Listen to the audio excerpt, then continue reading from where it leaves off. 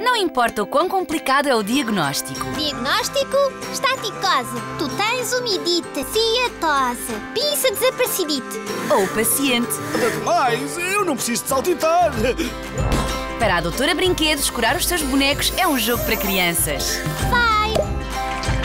Isto faz cócegas! Doutora Brinquedos.